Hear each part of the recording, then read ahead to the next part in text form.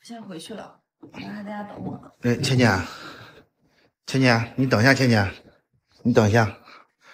我看到你这样，我真的很心疼。你知道吗，红哥？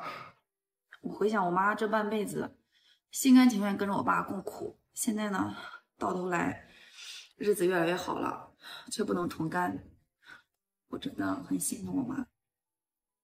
其实这些年，因为我家，因为我爸的事，我一直把自己内心是封闭起来的。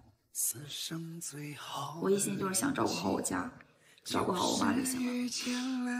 但是通过这件事情，我感觉你，就是我心里面介意的所有东西，你都做得很好。我就一直在想，我是不是应该忠于自己内心的想法，试着慢慢接受身边对我好的人呢？倩倩，你知道吗？这些年我在外面经常也会想，我到底要和一个什么样的人在一起走完下半辈子？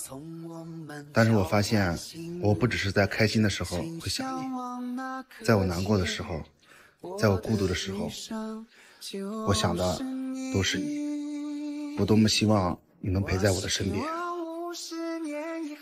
很多人羡慕说羡慕锦上添花的爱情。但是我感觉，真正一段好的爱情，不是锦上添花，而是雪中送炭，在他需要的时候陪着他。倩倩，这一辈子这么长，谁又能保证未来怎么样呢？但是我相信，只有雪中送炭的爱情，才能抵御风寒。我希望五十年以后，你还能在我左右。那时都已白了头。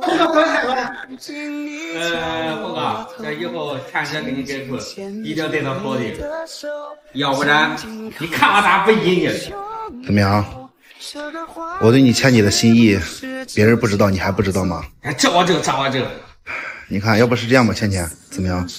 这两天呢，也发生了这么多事儿，然后呢，我明天带你们出去散散心，行吧？